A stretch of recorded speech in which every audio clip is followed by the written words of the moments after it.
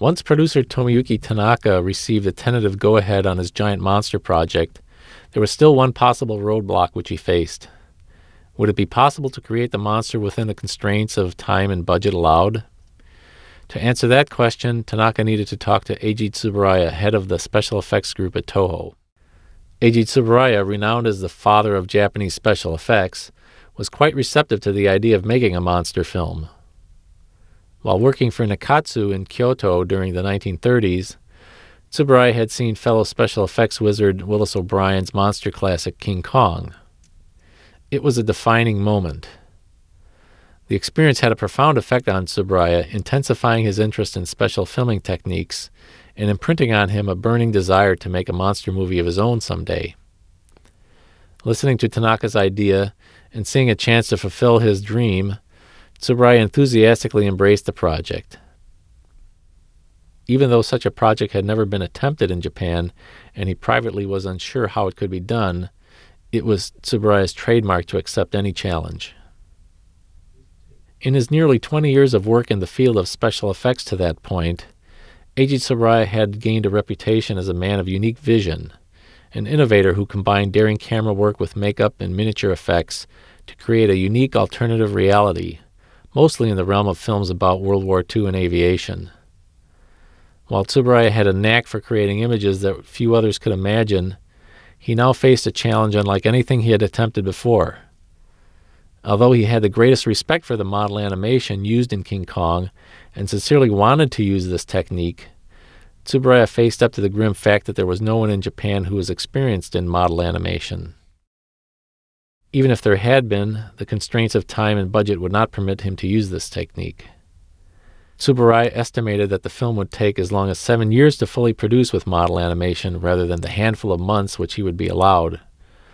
While he agonized over the decision, ultimately Tsuburaya realized that the only alternative open to him was to use a costumed actor and miniatures to create the illusion of a gigantic creature. Contrary to popular belief, using a man in a suit, hardly made the task any easier. While the concept sounded simple, this would be the first time anything of this nature would be attempted, so there was no established procedure or guidelines for how to build or even how to operate such a suit. The staff was completely on its own, having to rely on their ingenuity. Like much of this groundbreaking production, the process of making a suit was trial and mostly error.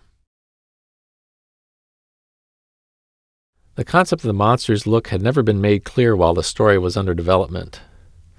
Original story author Shigeru Kayama had only thought of Godzilla as a sea monster. To assist in visualizing the concept, artists from all over Japan were invited to submit designs for the project. The first submitted were from cartoon artist Kazuyoshi Abe, based on a recommendation from Kayama. Drawn in less than an hour, Abe's rendering of the beast had strange simian like features with a head shaped like a mushroom cloud. This was not the dinosaurian image that the staff expected, so art department chief Akira Watanabe and sculptor Teizo Toshimitsu tried their hand at design, using a children's dinosaur encyclopedia and a special dinosaur issue of American Life magazine for inspiration.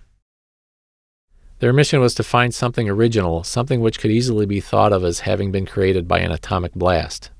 By combining the images of a Tyrannosaurus and Iguanodon and then adding backplates similar to those of a Stegosaurus, they hit on a unique yet highly recognizable design.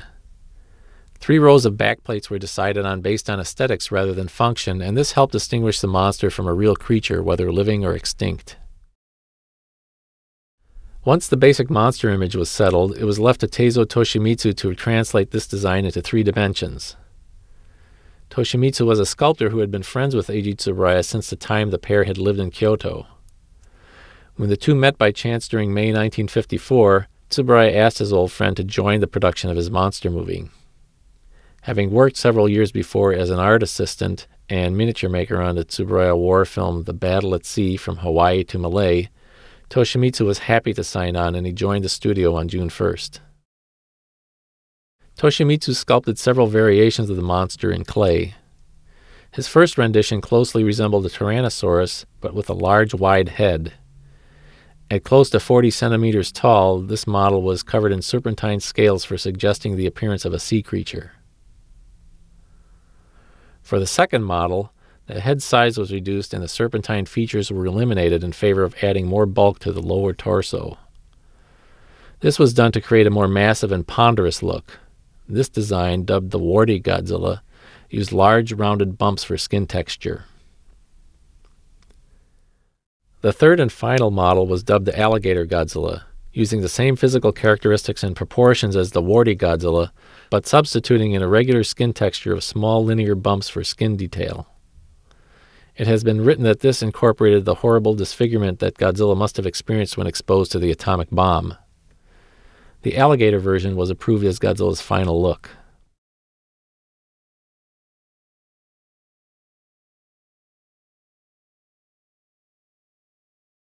Toshimitsu took charge of suit construction. The prototype suit was built by brothers Kanzi and Yasue Yagi, together with Eizo Kaimai. The Yagi brothers had worked for Tsuburaya at a special effects institute since the war, and Kanzi also had prior work experience with Toshimitsu. The making of the suit was carried out under top secret conditions at Tsuburaya's Special Effects Institute. No one was allowed in without permission. Kanzi Yagi took the lead in blocking out the body cavity for the suit actor by using thin wires and bamboo, wrapping them in chicken wire for support, and then covering this form with fabric and cushions. To add the skin, a huge block of solid latex was acquired and melted in a large barrel, the Yagi brothers stirring the mixture by hand. The liquefied latex was then applied to the suit as a skin. Small details were made of latex and glued onto the body, and finally the costume was lacquered a charcoal gray. Despite popular misconception that Godzilla is green, his color was always charcoal gray until Godzilla 2000. Although it later became common practice to use a zippered opening along the back for the actor to enter, the opening on the back of the first suit was held together by small rounded hooks, and when these failed, simple wire was used to close the suit's opening. The suit was designed so the actor's head was inside of Godzilla's neck. Small holes were punched into the neck through which it was expected that an actor could see and breathe. The suit's height was altogether two meters. When the suit was completed, the entire special effects staff assembled on a hot June afternoon in stage number two for a test fitting and to see what kind of performance could be achieved. When the actor was sealed inside, the mood was upbeat since the suit looked good, but when the actor was asked to move, nothing happened for a few moments. Finally, the foot moved, and not even 10 meters later, the suit collapsed in a heap. The actor was unable to move almost anything from within. The main problem was the latex material used for the skin. Being a relatively new material and in scarce supply in Japan, the latex which had been obtained was of a crude grade which proceeded to cure hard as a rock, much to the surprise of the staff. The suit's joints had also been constructed without any slack, making any movement from within impossible. Not only was the suit unyieldingly inflexible, its total weight was well in excess of a 100 kilograms or 220 pounds. These burdens made the suit completely impractical for filming. By concentrating so hard on the design of the suit, the staff overlooked the practical considerations of how to operate it. A second suit had to be built in short order. Despite the staff's best efforts to improve the flexibility of the suit and to decrease its weight, the improvements made to the second suit were relative. Made with urethane foam stuffed with bamboo pieces and cotton and covered with liquid plastic, this suit was lighter than the prototype, yet its weight still was in excess of a 100 kilograms and it was still quite stiff. Compared with the prototype costume, the second suit looked more human like with larger arms and a more upright posture. The bulk of the lower body gave the suit a convincing look of great mass.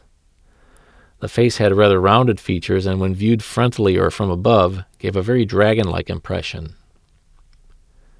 The eyes were unique among all subsequent Godzilla designs.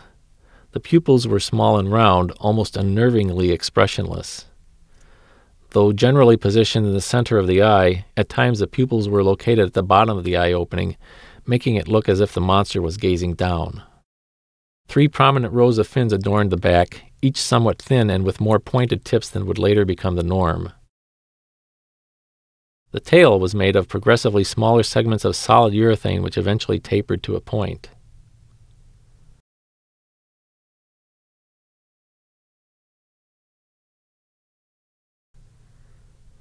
Since this was the first time to use a suit in this manner, little thought was given to the interior lining. The rough fabric used rubbed against the actor's sweaty skin, causing numerous abrasions and sores. Even worse, the suit was built to fit snugly, compounding the problem. The bulk of the legs and the wide spread of the four toes made walking a cumbersome task, and it was not uncommon for the actors to quite literally trip over their own feet and stumble while performing. Control of the suit was completely manual. The minimal mouth and eye movements of the suit were wire controlled by Eizo Kaimai, while the tail was controlled by an overhead wire. Suit construction was the most obvious example of the trial and error nature that characterized the entire production. So as not to waste the effort expended on the prototype costume, it was put to use by cutting it in half. Eizo Kaimai fitted the bottom half with suspenders so the suit actor could wear it for close ups of the feet stomping through miniature structures, saving him from suffering inside the suit when crushing the train tracks and wading through rows of buildings. Despite the improvements made on the second costume, the actor's ability to create performance was still greatly restricted. The suit was so inflexible that it could stand by itself when not in use. When being worn, walking in anything other than a straight line was all but impossible. The few holes in the neck were virtually useless to the stunt actor as sweat poured down his face and plugged up the holes. The combination of hot studio lights and non existent ventilation inside the suit were so unbearable that the suit could be worn for but a few minutes at a time, assuming that the actor did not pass out first, as happened several times during the shoot. The temperature inside would easily reach 130 degrees.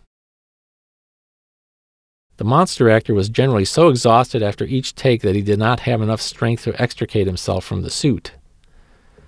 Over a cup of sweat would normally be drained out after filming. There was some advantage to the suit's inflexibility. Since Godzilla was supposed to have been originally a dinosaur, it should not move like a human, and normal movement was all but impossible in this suit. While Eiji Tsuburaya may have regretted his inability to use stop motion effects in Godzilla, the residual benefit was that it forced him to use his ingenuity and creativity to make the impossible possible. In the process, he pioneered the technique of suitmation. Tsuburaya is famous for commenting on the Japanese special effects industry, quote, Trick photography is a knowledge that our poverty has brought into being. Nowhere is it more evident than in Godzilla, which spawned 50 years of Japanese monster films.